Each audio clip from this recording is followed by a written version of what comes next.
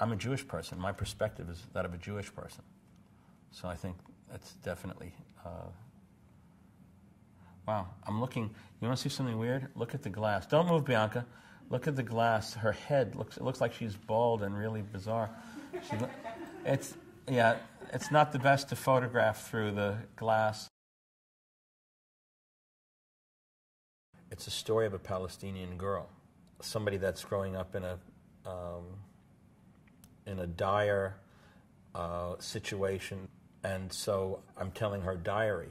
My intention was to speak through um, and be true to her story. There's there's no uh, muse in this particular movie. This is this is a story about a family uh, and and about people that are living in a situation of prolonged conflict that they didn't create. And I'm saying that the Palestinians didn't create it. I'm just saying that Israelis and Palestinians are both of the generation that is Rula's generation. They are inheriting this problem that their grandparents have left them or their parents have left them. So this has to do with empathizing with people, understanding people that are different than you, and uh, me showing the other side is just saying, hey, there is another side that you have to consider, and that's how you make peace. If you don't, and there's only one hand clapping, we'll never resolve this.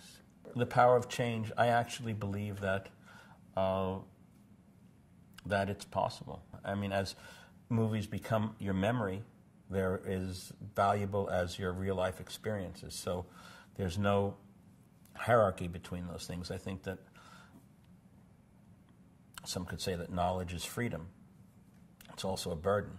But uh, I, lo- I love the medium. I like to watch movies. I was a movie fan before I was ever a movie maker. Movies have a different temporality than paintings. You get something in a painting that you get all at once, unendingly, and in a film, you have to see it in in time uh, unraveling itself to you, and uh, that's interesting to use a different part of your brain. The beginning and the middle and end really don't exist in my movies. They just start and they stop. I sort of dread the process in a way, uh, dread the beginnings of finding locations, dealing with people, having meetings, uh, talking on the telephone.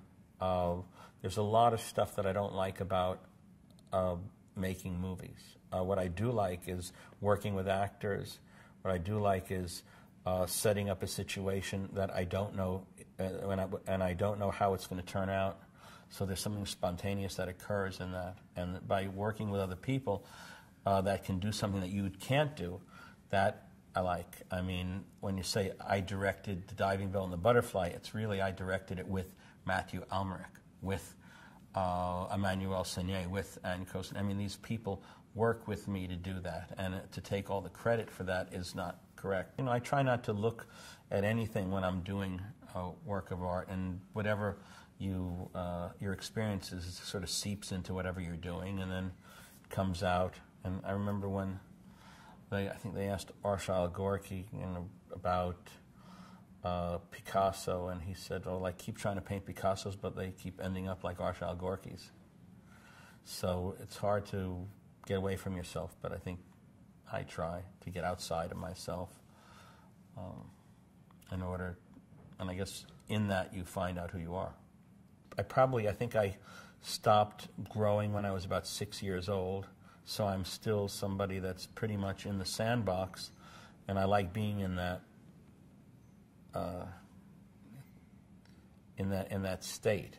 And so uh, I don't feel like making a movie now for a couple of years. I don't want you know I was asked to make different things that were pretty interesting, but it's not a job to me. I made this film because I felt a responsibility um, to because uh, I think that if we don't do something about what's going on over there, it's just there's a domino effect, and the ripples are far-reaching, and uh, it's not something that's just over there. It's happening here, and uh, we need to talk about this. We need to heal each other. We need to forgive each other. And I thought that there was a lot of forgiveness in Rula's book, not towards Israelis, but also towards her mother. You know, if we're privileged or more privileged than other people, I think we need to intervene and do something that could be, uh, maybe it's even pretentious to think that we are more privileged than other people, but uh, I'm living under the illusion that I'm a free person, more free than most. So I thought I could make this movie.